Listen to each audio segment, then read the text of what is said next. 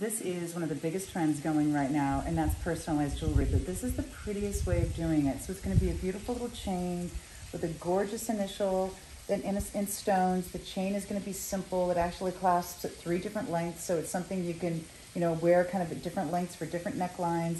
I love the fact that we have it in yellow or the white, and I love the fact that we're gonna have this made especially for you. If you want one of the prettiest pieces of wearable monogram or actually initial jewelry, this one is going to be perfect. By itself or layered with your other necklaces, it's going to be one that you live in.